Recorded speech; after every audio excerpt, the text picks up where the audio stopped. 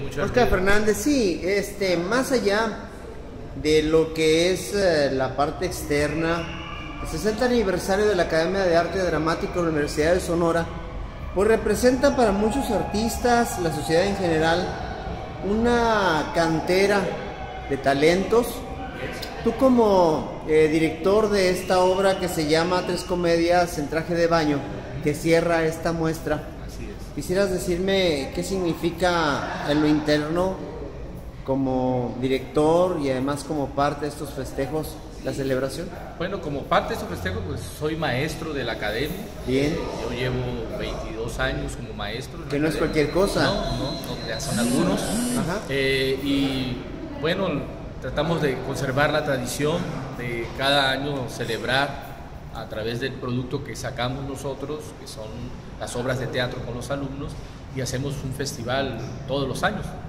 Nada más que ahora toca un, festival mucho, muy especial porque cumplimos 60 años de que fue fundada la Academia de Arte Dramático de la Universidad de Sonora por el, maestro Alberto Estrella, que aquí tiene su estatua a un lado.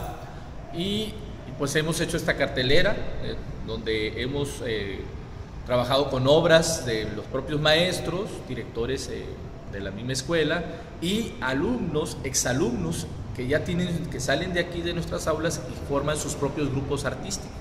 Entonces ellos forman sus grupos, los invitamos, como, porque ellos ya trabajan de manera profesional, nosotros de alguna manera pues estamos graduando, los estamos sacándolos aquí. Podría decirse amateurs, pero en realidad los preparamos para que sean profesionales. Para eso está la universidad. ¿no?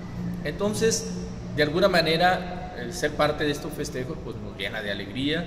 Eh, este, este festejo tiene un simbolismo muy especial porque la mayoría de las obras que, que se presentan fueron puestas en el siglo pasado, o sea, en, en el transcurso de las décadas de los 60 años se, puso, a- se escogió cada director alguna obra que fuera recordada en esas épocas. En este caso a mí me toca la de Tres Comedias en Traje de Baño, que significó algo muy importante en la academia, porque fue con la que se inició la Compañía Universitaria de Teatro, en 1976. Ahí con el maestro Jorge Velarde puso esta obra y desde ese momento formó la que se llamaba la- en aquel entonces la Compañía Universitaria de Teatro. Entonces, pues recordando eso, se, se utilizó esta, esta obra para, pues, para presentarse aquí y que además fuera marco para graduar a estos muchachos, los que van a ver ustedes en escena. Estos chavos se gradúan, eh, son los que ya terminaron los cursos, los tres años del curso de la, de la academia y pues ya van a brincar a lo profesional. Entonces, los preparamos para eso. Abre de alguna manera eh, brecha esta academia en Sonora en un arte que no es nada fácil. ¿no? En realidad la vida nada es fácil, pero hacer teatro tampoco tiene su eh, camino llano de decir, llegamos, vencimos, vimos y vencimos. No, no, No, no. no, no, no. Eh, eh, no es fácil, pero de alguna manera este, hacer teatro en Sonora, ¿cómo lo conceptúas? ¿Cómo lo calificas? Mira, e- es difícil, es difícil hacer teatro en Sonora ah, porque pues el teatro necesita de recursos, de recursos económicos. Antes se hacía teatro en otras épocas, pero había los llamamos mecenas, o sea, gente que, Que tenía recursos y que tenía le recursos y decía, bueno, a ver, el señor Molière, venga, yo le voy a dar todo lo que usted quiera para que haga las obras de teatro.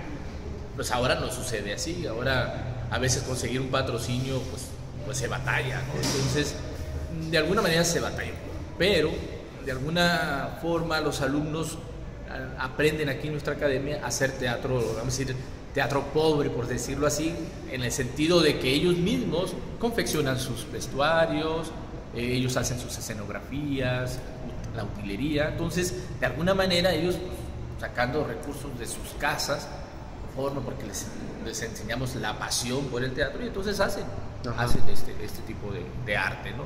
No es fácil, pero pues se preparan para eso y pues el- en la constancia está el triunfo. Muchas gracias.